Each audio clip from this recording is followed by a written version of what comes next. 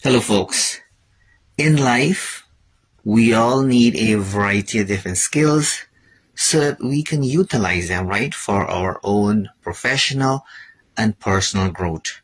And one of the skills I always share anywhere I go is to one, shut up, listen, and learn from others. That's right. And I'll repeat it here.